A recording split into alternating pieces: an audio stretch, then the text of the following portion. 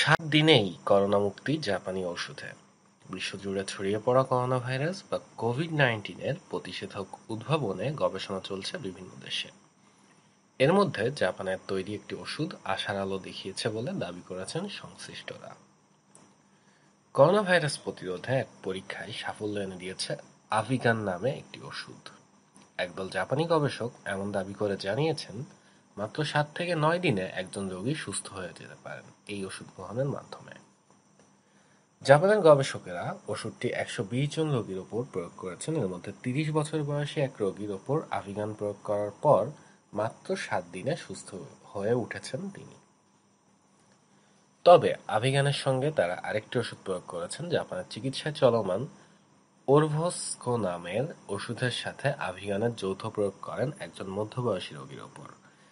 তিনি মাত্র নয় দিনে সুস্থ হয়েছেন। গবেষক দল আরও বলেছেন, সন্তান সম্ভব নারীদের এই ওষুধ প্রয়োগে নেতিবাচক ফলাফল আসতে পারে বলে তাদের ওপর এই ওষুধটি প্রয়োগ করা হয়নি।